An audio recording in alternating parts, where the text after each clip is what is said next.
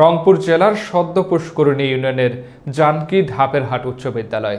দীর্ঘদিন থেকে সুনামের সাথে আসছে বলে জানা যায়, তবে বর্তমান ভারপ্রাপ্ত প্রধান শিক্ষক মোহাম্মদ জয়নুল হকের দুর্নীতি আর অনিয়মের কারণে প্রতিষ্ঠানটির লেখাপড়ার মান কমেছে বলে দাবি এলাকাবাসীর।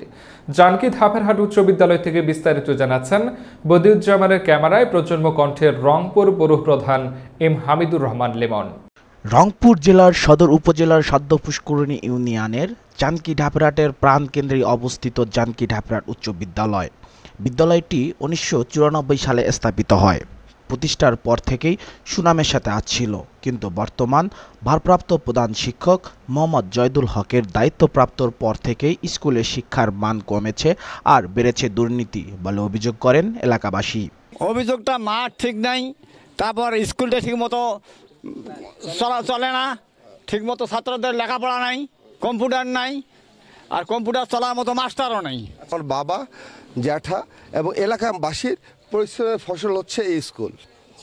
অভিযোগ হচ্ছে, এখানে হেডমাস্টার নাই, ভারপ্রাপ্ত আছেন। এবং ভারপ্রাপ্ত হিসেবে যিনি আছেন, তার বিরুদ্ধে বিভিন্ন কমপ্লেন বিভিন্ন অভিযোগ। লাস্ট যেটা আমি আমার কানে আসছে, সে নিয়োগের ব্যাপারে সে অলরেডি টাকা নিছে। এক আর দুই, দ্বিতীয়ত হচ্ছে আমার জ্যাঠাতো ভাই দেয়া আটটা কম্পিউটার আটটা কম্পিউটার যেটা কনফিগারেশন অলমোস্ট বারো, চোদ্দ লক্ষ টাকা। হাইলি কনফিগারেশন হাইলি কনফিগারেশনের একটা কম্পিউটার, আটটা কম্পিউটার, যেটা সে একটা শুধু একটা শুধু স্কুলে রাখছে। স্কুলের ছাত্ররা বঞ্চিত হয়েছে আজকে। স্কুলের ছাত্ররা বঞ্চিত হয়েছে কম্পিউটার শেখা থেকে। বঞ্চিত হয়েছে না? আজকে আটটা কম্পিউটার যদি স্কুলে থাকতো স্কুলে থাকতো তাহলে তাহলে অন্তত ছেলেরা এ বি সি ডি অন্তত মাইক্রোসফট কী জিনিস আজকে উইন্ডোজ কী জিনিস এতটুকু বুঝতে পারতো। সে হেডমাস্টার নিজে তার বাড়িতে সাতটা কম্পিউটার রেখে শুধুমাত্র একটা কম্পিউটার এখানে রাখছে। আমার দাবি হচ্ছে এই স্কুলে যে প্রধান শিক্ষক আছে সে একজন দুর্নীতিবাজ প্রধান শিক্ষক। তার সঙ্গে সভাপতির সভাপতির কোনো কোঅপারেশন নাই, কোনো কোনো ধরনের সহযোগিতা নাই, এবং সে ইচ্ছা মতো, তার ইচ্ছা মতো যাচ্ছে তাই ভাবে স্কুলটাকে চালাচ্ছে।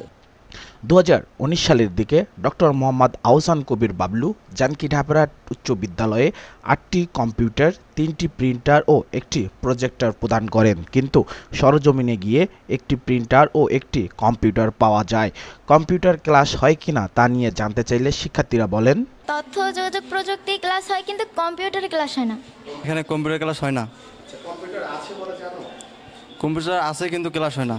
উক্ত বিষয় নিয়ে জানকি ঢাপরাট উচ্চ বিদ্যালয়ের ভারপ্রাপ্ত প্রধান শিক্ষক মোহাম্মদ জয়দুল হকের সাথে কথা বলতে চাইলে প্রজন্মকণ্ঠ এর ক্যামেরা দেখে সটকে পড়েন ভারপ্রাপ্ত প্রধান শিক্ষক জয়দুল হক।